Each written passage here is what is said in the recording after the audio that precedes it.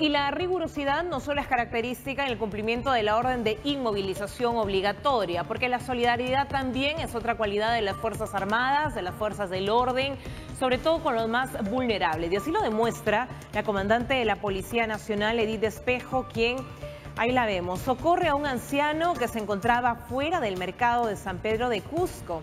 Ella no solo le limpia las manos, también le ofrece pan y una bebida caliente en medio del frío que se vive en esta región del sur.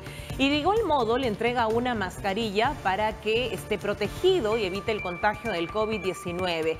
También le recomienda quedarse en su casa ante el alto riesgo que corre. Ya no salgas. No, ya me en la casita.